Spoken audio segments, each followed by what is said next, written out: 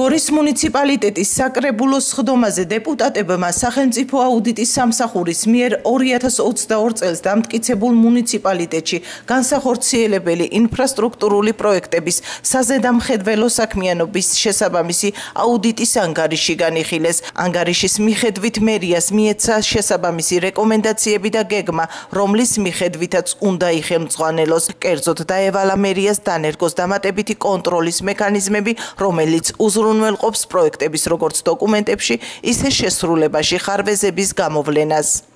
სახელმწიფო აუდიტის სამსახურმა მიიღო უпроსორე ჩვენ დაგვავალა, რომ და ჩვენ განკარგულების სახით მივიღოთ ის მითითებები, რასაც ჩვენ გვაძლევს აუდიტის სახელმწიფო სახელმწიფო აუდიტის სამსახური და ჩვენ ეს განკარგულების სახით მოვამზადეთ და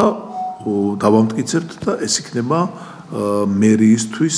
ასე რომ ვთქვათ სამუშაო ანუ ამის მიხედვით უნდა განახორციელოს ეს შესაბამისი სამუშაოები მერი. აუდიტის დასკვნა მოვიდა რომელიც ასე ვთქვათ აღნიშნავს რომ საზედამხედველო კომპანია, ანუ ეს არის საზედამხედველო კომპანია, გარე კონტრაქტორი, რომელსაც ქირაობს მერია და რომელიც ამოწმებს შესრულებულ პროექტებს ჩვენი მუნიციპალიტეტის ტერიტორიაზე.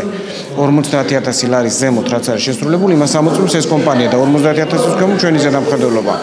რომ იმ კომპანიას, თქვათ, ხშირ შემთხვევაში არ გააჩნია შესაბამისი კომპეტენცია და პროექტების ვადების გადაწება ხდება თვითნებურად და შესაბამისად ხშირ შემთხვევაში ხდება პროექტების ჩაბარება ისე რომ ბოლომდე თქვათ არ არის შესრულებული სამუშაო რომელიც პროექტით იყო განსაზღვრული და სახელმწიფო აუდიტის სამსახური ამისკენ მიგვითითებს რომ უფრო მკაცრად ვაკონტროლოთ ეს კომპანია და შესაბამისად საკრებულომა ჩვენი დადგენილებით ეხა მივმართეთ მერიას რომ ან შეცვალოს ეს კონტრაქტორი ან მიიღოს მექანიზმები რომელიც უფრო მკაცრად გააკონტროლოს ამ პროცესს